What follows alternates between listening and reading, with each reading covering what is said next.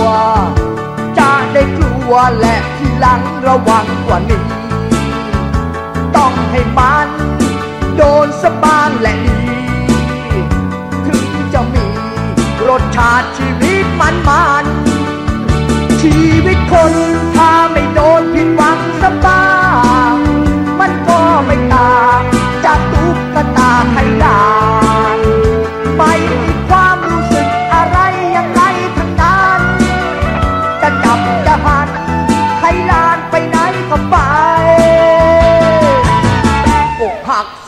ที่จะได้รู้สึก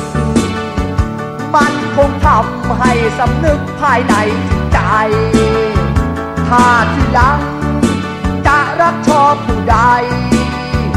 ต้องดูใจให้นานไม่งั้นจะโดน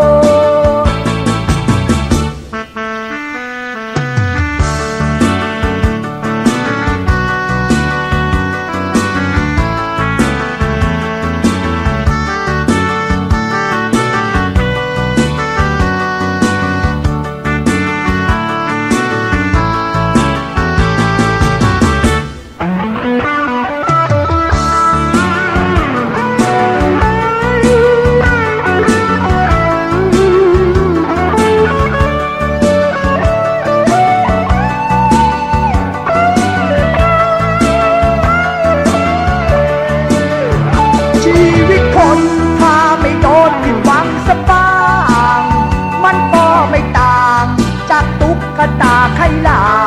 น ไม่มีความรู้สึกอะไรยังไงทางด้าน จะจับจะหันไขลานไปไหนก็ไป อกหักสักทีจะได้รู้สึก มันคงทำ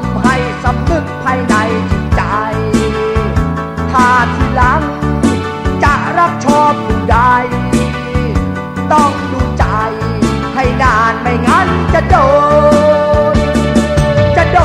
น ให้นานไม่งั้นจะโดนเบื่อเบื่อ